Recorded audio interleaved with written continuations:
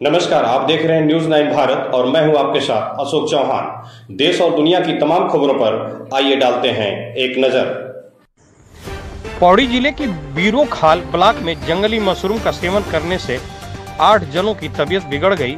आनंद फानन में सभी मजदूरों को सामुदायिक स्वास्थ्य केंद्र बीरो खाल में भर्ती कराया गया। दरअसल फरसवाड़ी क्षेत्र में मजदूरी कर रहे मजदूर जंगल से जंगली मशरूम तोड़कर लाए और आज सुबह नाश्ते में मशरूम का सेवन किया।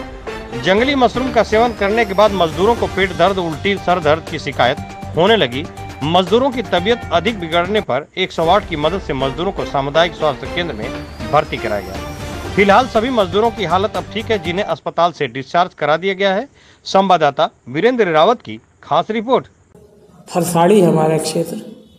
तो वहाँ पे कुछ लोग मजदूर काम कर रहे थे तो आठ लोग उनमें से ऐसे थे, जिन्होंने मशरूम कहीं से जंगल से तोड़ करके और खाया सुबह बना करके।